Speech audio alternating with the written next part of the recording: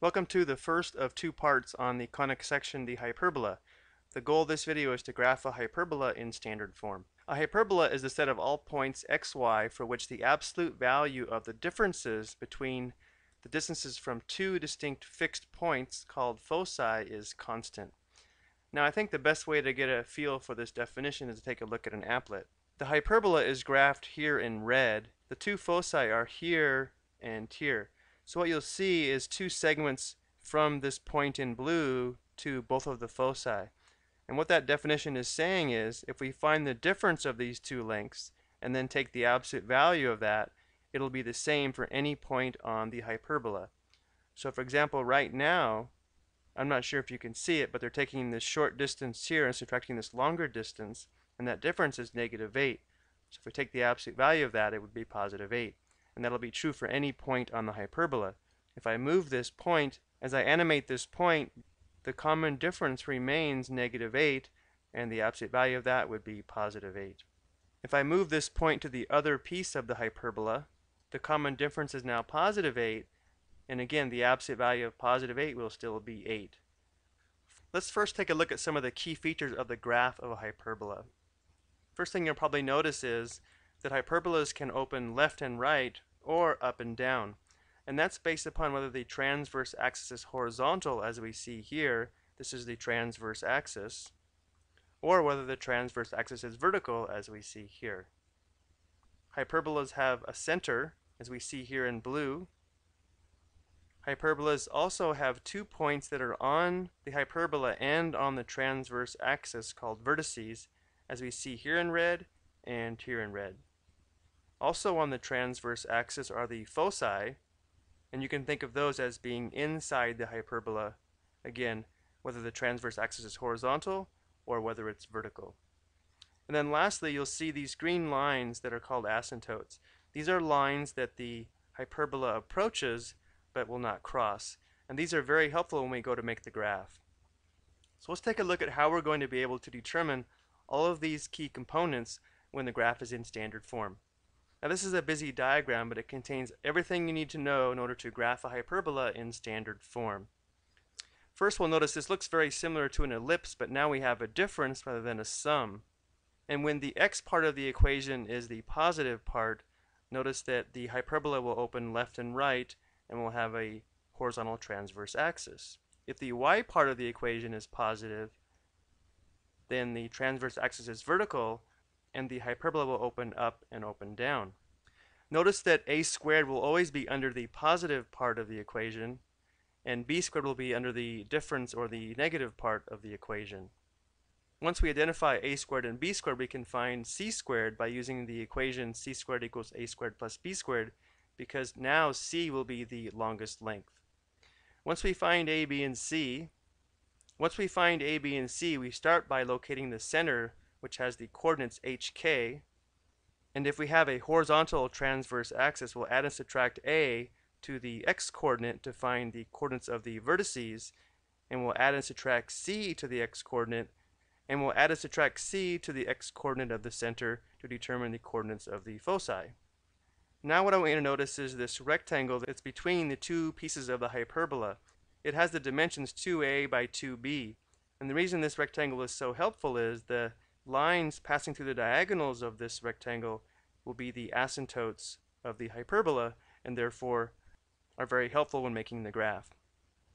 Now everything is very similar when we have a vertical transverse axis except now we'll be adding and subtracting a and c to the y coordinate of the center to determine the vertices and the foci. Let's go and look at an example and see if we can put all of this together. The first thing we should notice on this equation is that the x part is the positive part which means we'll have a horizontal transverse axis. So our graph should look something like this as we see down below. Next, the center of the hyperbola will have the coordinates hk, so the x-coordinate will be positive 2 and the y-coordinate will be negative 3. a squared will be under the positive part of the equation, so a squared equals 4. So we know a equals 2. And b squared equals 9, so b equals 3. Let's go ahead and find the value of c. Remember c squared equals a squared plus b squared. So c squared will equal 4 plus 9, that's 13. So we'll have c equals square root of 13. And I already found the decimal approximation for this because that's helpful when we're graphing. So c is approximately equal to 3.61. Okay, so let's go ahead and start by plotting the center at 2, negative 3. Again, keeping in mind the hyperbola will open to the left and open to the right. The two vertices of the hyperbola will be a units to the right and a units to the left of the center. So since a is equal to 2, one vertex will be here at 4, negative 3, and the other one will be at 0, negative 3. Remember, these are two points on the hyperbola because we know it opens something like this and something like this. The next thing we want to do is create this rectangle here with dimensions 2a by 2b so we can sketch those asymptotes. The length from this red point to this red point is 2a. This would be the width of the rectangle. The question is, what would the height be? Well, the height would be 2b, and since b is equal to 3, 2b would be 6. The rectangle would have a height of 6 units. So we'll sketch a rectangle 6 units high by 4 units wide, like so. And again, the diagonals of this rectangle will be the asymptotes of the hyperbola. So let's go ahead and sketch those. Believe it or not, this is enough information to make a nice sketch of this hyperbola because we know each piece is going to approach these asymptotes. So it's going to look something like this and also something like this. Now we should go ahead and find the coordinates of the foci. Remember that's going to be c units to the right and left of the center where c is approximately 3.61. Foci 1 will be 2 plus 3.61 comma negative 3 and the second foci will be 2 minus 3.61 comma negative 3. Well this will be 5.61 negative 3 way over here on the end. Call this foci 1. And this is going to end up being negative 1.61 comma negative 3 somewhere in here for foci 2. Now we're not going to take the time to find the equations of these asymptotes. Sometimes you're asked to do that, but you could quickly find the slope of these lines and then use point slope form to find the equations. Let's go and take a look at one more example. Notice on this hyperbola, the y part is the positive part, which means our transverse axis is now vertical, and therefore the hyperbola will open up and open down as we see pictured here. Our center will have the coordinates positive 2, negative 4.